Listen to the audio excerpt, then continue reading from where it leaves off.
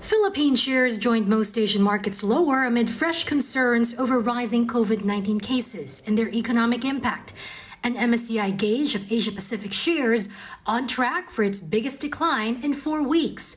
For the day, the PSE index lost nearly 1%, closing back below 6,500. The U.S. market is going up because the Federal Reserve keeps printing money, printing money, printing money. That's mm-hmm. to be mm-hmm. expected. Uh, as far as Europe goes, uh, nobody cares, to be very honest with you. Because you have all these little regional markets in Europe, or these national markets. Look, here's the deal on the Philippine stock market. The market's been asleep for five weeks.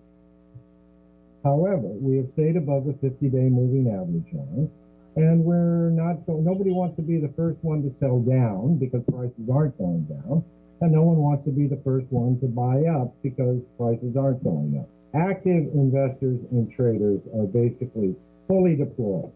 Probably 80 to 90 percent of their available investing cash is in the market. They have not liquidated because prices haven't been going down. They mm-hmm. haven't been buying again because prices aren't going up. So it's just a matter of of uh, what breaks first. Now, everybody's looking at the COVID numbers, but we are almost reaching the point that what does it matter? All right, we have 7,000 or 8,000 cases today, and it'll be 12,000 tomorrow because of the, the errors in the data and the late reporting mm-hmm. and one thing and another. What it looks like to me, and nobody's going to like what I have to say, this virus has to burn itself out. Or wow. we have to have mass inoculation. In corporate stories, SM Prime has set aside 80 billion pesos for capital expenditures this year, same as last year. It plans to open three new malls in the Philippines and launch 15 to 20,000 residential business units. It also appointed former BSP Governor Say Tetangco, former Pag-ibig boss Sterling Berberabe, and Mr. Carlos G. Cruz as new independent directors. Meanwhile, encouraged by the strong 100% uptake of Hotel 101 Fort during the pandemic, Double Dragon is launching three new Hotel 101 projects over the next three quarters. They will be located in Cebu, Boracay, and Libis. All three will add some 2,251 rooms to the company's current hotel portfolio, generating an additional 11 billion pesos in sales. Still in property, Ayala Land also scheduled to launch 100 billion pesos in residential projects this year as it expects full recovery in two to three years' time. It's earmarking 88 billion pesos for capex for this year. Meanwhile, Robinson's retail holding sees a low single digit growth in earnings this year after a near 20% drop in profit last year. Saying recovery is hinged on the pace of the vaccine rollout.